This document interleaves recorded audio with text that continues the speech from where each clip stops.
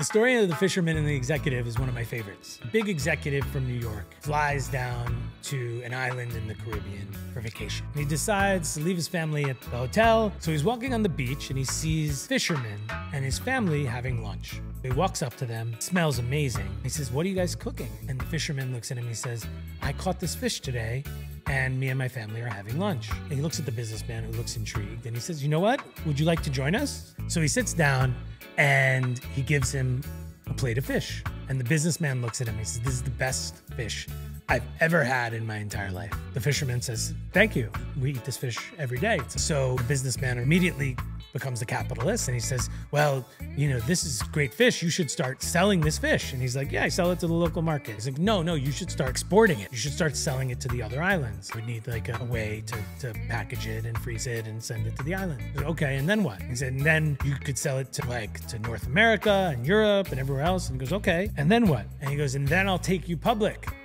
and you'll make a lot of money and you can do whatever you want. And the fisherman turns and looks at him and says, but I already do whatever I want.